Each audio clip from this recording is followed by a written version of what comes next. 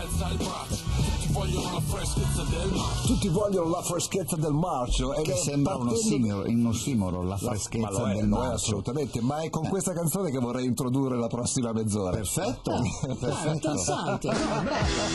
Ottimo direi. Ciao mondo, ciao Claudio. Mondo Marcio. Aldo Rock ti saluta.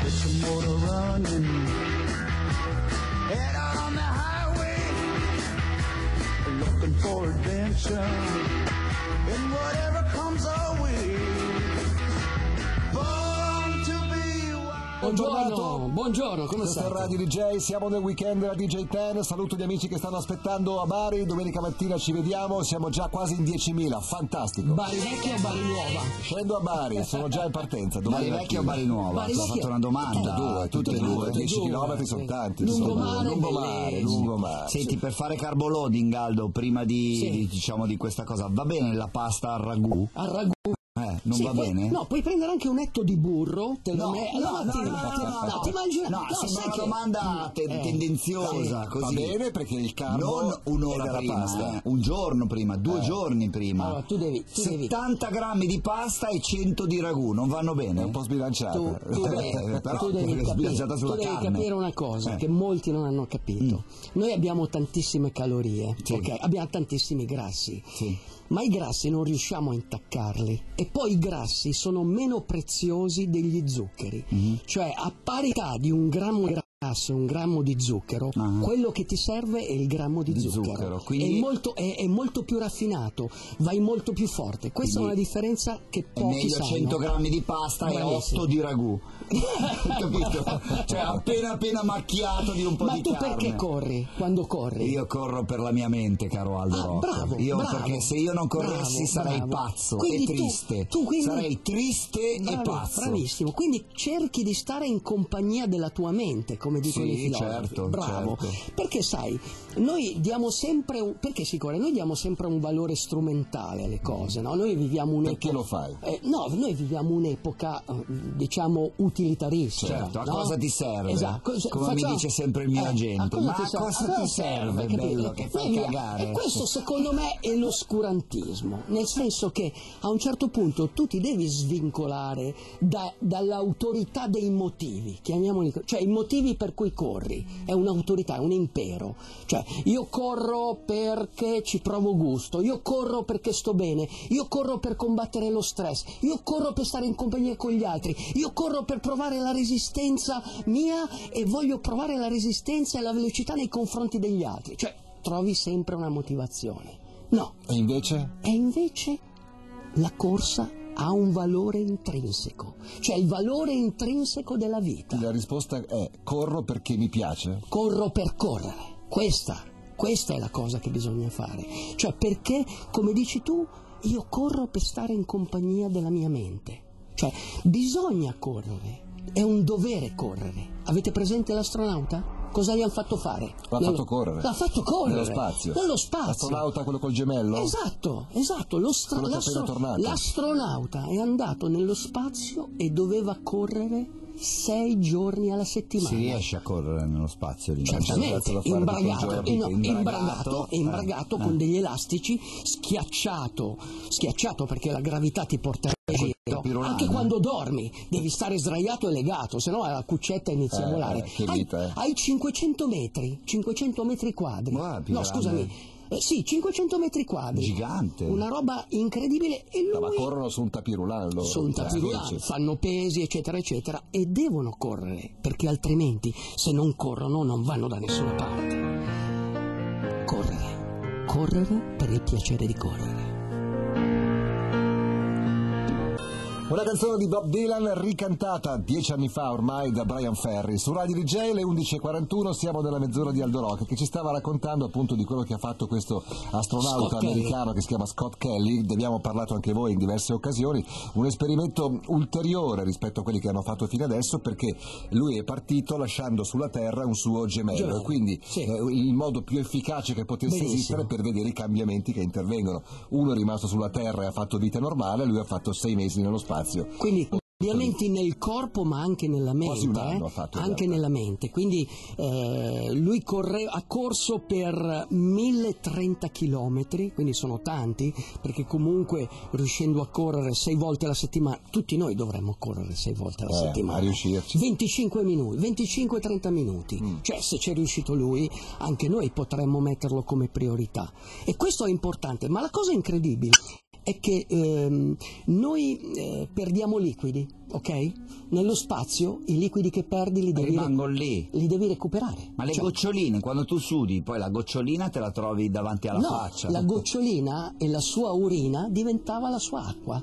Cioè, questo è la fa? trasformazione. Sono- ci sono delle macchine Dei apposta che re- recuperano tutti i liquidi, quindi eh, la perspirazio, eh, in- eh, la, la respirazione, quella giornaliera, ti porta via un litro e mezzo di liquidi. Cioè, tu non fai niente e perdi un litro e mezzo di liquidi. Perché comunque tu emetti Tu una cosa respiri, che è umida. Respiri, respiri, E capisci? tu eme- dal na- dalla bocca, quando, quando in più- fuori è umidità. Ma anche dalla pelle. lui, Anche lui dalla in pelle, più sì. correva e quindi consumava molti liquidi. Mm. Alla fine ha bevuto 750 più o meno litri recuperati. Caspita. Cioè, ha recuperato Sai quello della liquidi. Frisia? Quanti soldi?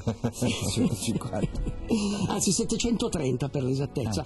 Eh. E poi ha, ehm, come si dice, le ore che ha passato in allenamento sono state 100 ore. Cioè, 100 ore, quindi al- 100 ore nella corsa. Mm. Scusami Aldo, velocissimo. Quando fai pipì vai a far pipì in un posto che si Certo. tiene l'acqua Esatto, sì, che, che fa chiaro, e poi dopo chiaro, quando, chiaro. quando schiacci perché be- vuoi un bicchiere d'acqua esce Diciamo anche che se siamo in grado di stare nello spazio per così tanto tempo saremo per anche in grado Cioè, di tien- tieni presente, tieni, purificare la pipì e Ed farla per diventare tieni presente che la navetta quando gira, ma in una giornata vede circa 6 ore, eh, dunque eh, ogni ora mezza più o meno fa il giro della Terra. Calandro ha studiato Sì. poco, No, eh. no, ogni, Calandro ha studiato ogni poco. ora e mezza fa il giro del 90 minuti fa, fa Ma l'orbita. puoi spiegare a quelli che stanno ascoltando come si fa a correre in, spazio- in un posto senza gravità? Noi abbiamo visto prima dei filmati Sì. molto interessanti. Cioè il tapirulan è, È tra virgolette normale, ma chi corre ha una specie di imbragatura. Imbragatura, hai degli elastici che degli ti elastici. hai degli Quindi elastici la corsa è un po' tengono. schiacciata anche. Sicuramente, però, Però comunque c'è. io mi ricordo ad esempio al Conti, eh, chi aveva dei problemi al collo, il Francesco aveva costruito un'imbragatura per tenere il collo sollevato. Per alleggerire. Ok, ecco, tenete, prese- scaricare. tenete presente che lui, eh, dopo la sua missione, è cresciuto in altezza di quasi 4-5 centimetri. Ci vado. Ci vado anch'io. capisci? Cioè io quando ho fatto il Deca Ironman ho perso 2 Eh, beh, centimetri. te la sei cercata. Lui- Deca Ironman, te la sei cercata. Vai con il tuo, con il tuo manoscritto. Uomo corre, comincia col fare ciò che è necessario, poi ciò che è possibile e all'improvviso ti sorprenderai a fare l'impossibile. E se la corsa non è per te, passo dopo passo, respiro dopo respiro, imparerai a trascorrere del tempo in compagnia del tuo spirito, della tua mente, del tuo corpo. Correre il bene, un altro regno dell'esistenza. Correre a prendere nel corpo e nella mente il significato profondo della vita. Fatica e piacere, questo è veramente la corsa, quella vera, quella che ti abbraccia e ti stringe forte, che ti accarezza l'anima e ti fa sentire in paradiso, dove il destino non avrà più potere su di te. Corri uomo, non inseguire nulla. Corri e basta. Possa, ma non lo dicevano mai. Sound Revival si chiama il gruppo, la canzone è molto bella, If Not For You, è una canzone che mi sembra di aver già sentito. Chi la cantava questa? Dunque, quella di prima la cantava Bob Dylan eh, ed era stata scritta, quella di prima, era stata scritta eh, Fourth Street in- a New York, era il luogo dove c'erano i locali folk, Ok. ok?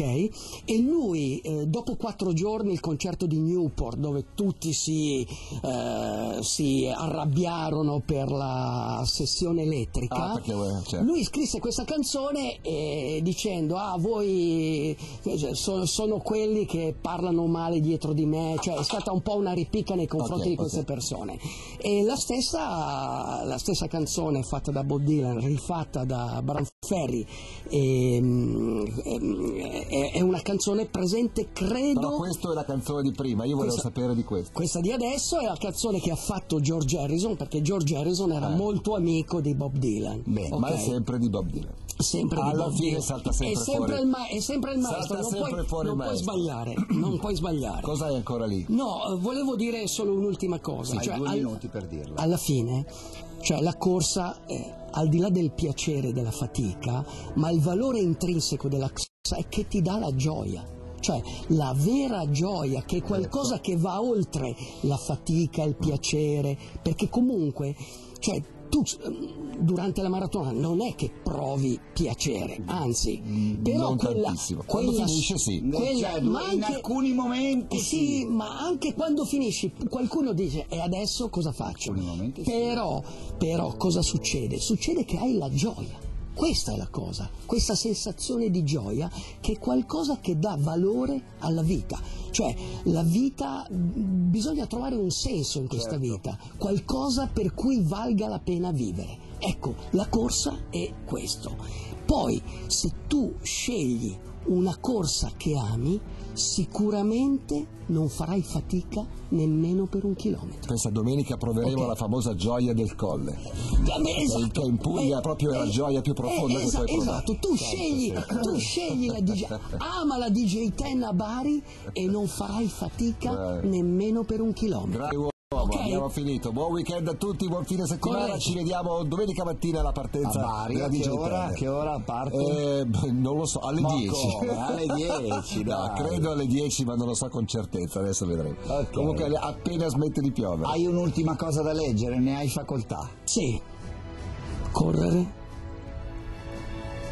rende la vita degna di essere vissuta. Correte.